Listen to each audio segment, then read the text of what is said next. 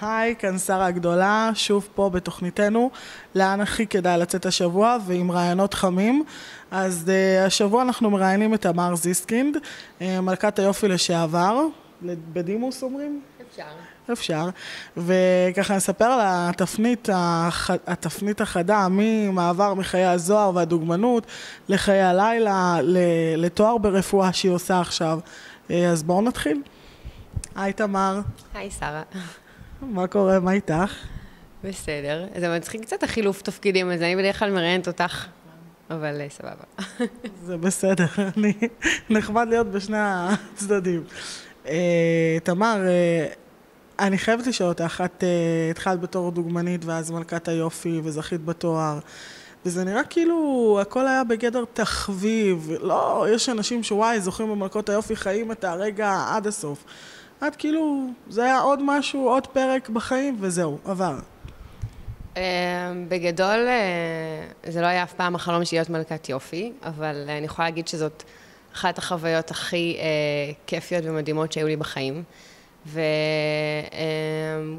לקחתי את זה למקומות שרציתי, אני עדיין מדגמנת ואני מאוד מאוד אוהבת את זה וגם לא, לא כל כך הכרתי את העולם הזה קודם, אז אני כן שמחה שנחשפתי לזה.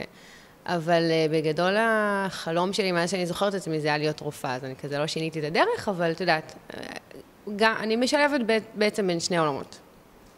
ואת לומדת רפואה בחיפה? אני לומדת רפואת שיניים בירושלים. וואו, ירושלים, את יודעת, הגאונים מגיעים לשם. הם הגאונים, פשוט יש רק מקום אחד בארץ ללמוד רפואת שיניים, שזה בירושלים. אה, כן. זה אני לא ידעתי, עכשיו גילית לי משהו חדש.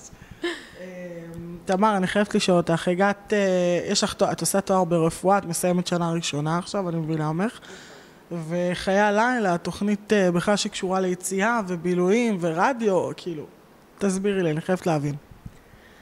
וואו, האמת היא שגם לא חשבתי בחיים שאני אגיע באיזושהי צורה לרדיו.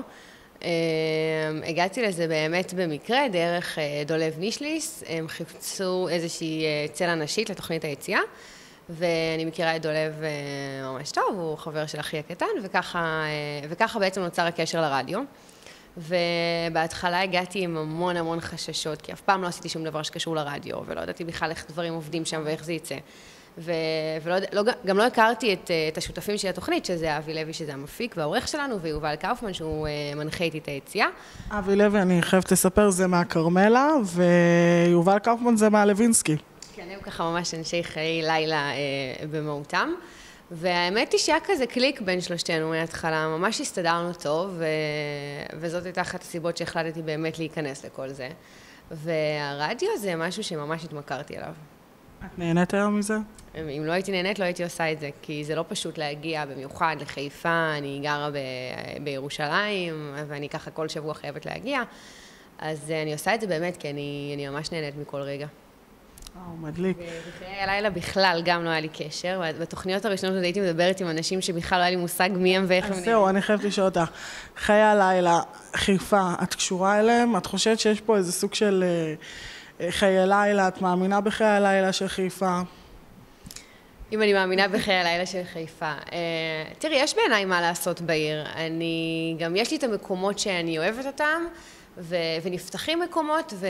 איפה? תני דוגמה. איזה מקומות אני אוהבת לשבת? Uh, uh, וואי, מלא מקומות. Uh, ברברוסה, uh, לוינסקי, uh, מוריסון, uh, מלא, מלא. בסטלה אני יושבת, עבדתי גם בסטלה. מה עשית? מה עשית בסטלה? זה אנחנו יודעים, יש פה אייטם. באמת? כן. מתי היית ממוצרית שם? אה, לפני התחרות, ובמשך איזה שנה וחצי. זה סקופ ראשוני, אף אחד, נראה לי אף אחד לא יודע את זה.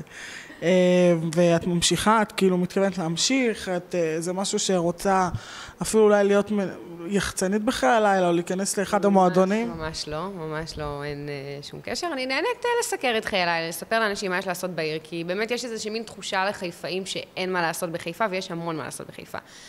לגבי אנשי חיי הלילה של חיפה, זה כבר משהו אחר. הם בעיניי הם קצת יבשים. רגע, רגע, רגע, רגע, איך הם יבשים? אני חייבת לשאול שאלה. אני יודעת את בזוגיות עם מישהו מירושלים, נכון לא, אמרת לי? מישהו תל אביבי. תל אביבי, נכון, את יש לך תל אביב, ירושלים, חיפה, אבל את יצאת אה, בעבר איך עם איש אה, חיפאי אה, נכון. בחיי הלילה, איך הוא יבש? הוא ספציפית לא יבש. אבל תראי, אנחנו יוצא לנו לדבר המון עם, עם אנשים מחיי הלילה של חיפה, והם קצת אה, מאוד כאילו קונבנציונליים כאלה, וזו תכונה בעיניי שאיש איש חיי הלילה צריך להיות בדיוק ההפך מזה. אז אין יותר מדי אנשים שהם באמת כאלה. יכול להיות שזאת גם אחת הסיבות שאת יודעת, אנשים אומרים שאין מה לעשות כאן, אולי הם לא מייחצנים את המקומות כמו שצריך, אבל אני חושבת ש, שכן יש מה לעשות בחיפה, והרבה. אז את חושבת שאנשים שעושים את חיי הלילה צריכים להשתדרג. חלקם כן. טוב, אז אה, אני אאחל לך המון בהצלחה. אני חושבת שאת מקסימה, מדהימה. עזבי שאת יפה, זה נשים בצד. אבל באמת את אישיות מקסימה והמון בהצלחה שיהיה לך. תודה רבה גם אמ, אני חייבת לשאול אותך שככה כולם ישמעו, יאזינו לתוכנית, מתי, באיזה שעה, איזה יום, תספרי לנו. אז זה יציאה, המדריך שלכם לחיי הלילה, כל יום חמישי, מ-10 עד 12. מגזין הבילויים. שווה, שווה לה כאילו להאזין. אני, יש לי שם פינה של אה, רכילות וכל מה שקורה מאחורי הקלעים של אנשי, אנשי הסצנה, אבל אה, כאילו שווה? שווה, זה גם תוכנית מצחיקה, גם תלמדו להכיר קצת את, אה, את אנשי חיי הלילה של חיפה, מקומות חדשים, מה יש לעשות בעיר, זה, זה שווה לגמרי. בכיף, אז אנחנו נאזין.